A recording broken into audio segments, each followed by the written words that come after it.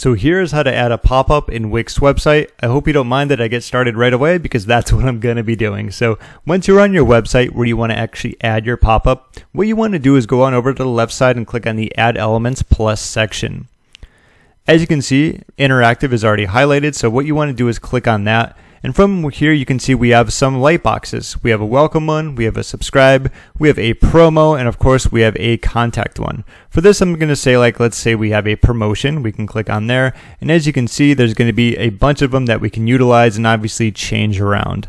So for this one, I'm just going to go with, ta-da, this one, holiday sale. Why not?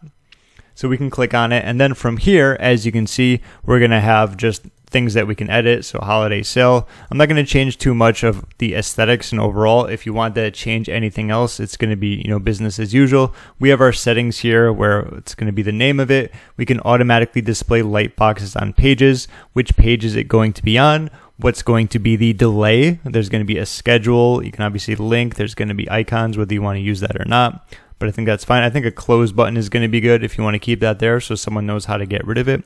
We can remove that. And probably one of the biggest things here when we click on the start shopping button or wherever it's going to be, let's just say this is going to link elsewhere. So what we can do is go to the link here.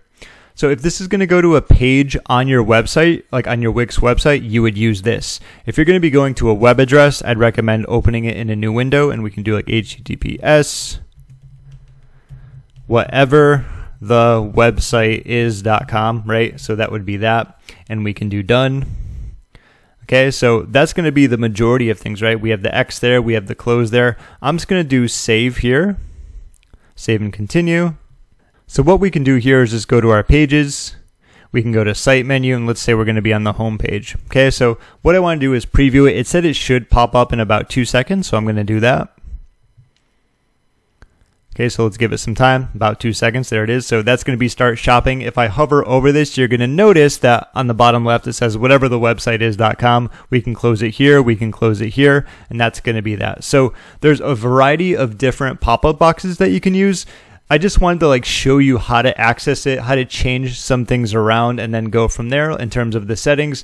I didn't go focus on any of the aesthetics because that's going to be up to you and what you want it to look like. Keep in mind if you didn't like that huge box that it had, you can always use a different one. There's a wide variety of them, so I'd recommend picking and choosing one. If you don't like it, try a different one and once you figure out the one that you like, go ahead and edit around your settings, but that's how you can add a pop-up in your Wix website. If you have any questions, feel free to leave a comment down below and if I don't get back to you, someone someone else can always chime in. If you happen to get any value out of this video, be sure to give it a thumbs up as it helps me out a lot as well. And if you're still here watching this video, you are awesome. I will have a link to a free gift in the description. It's a resource that'll have plenty of tools for helping you build and grow your online business. My name is James. Thank you so much for watching, and I will see you in my next video.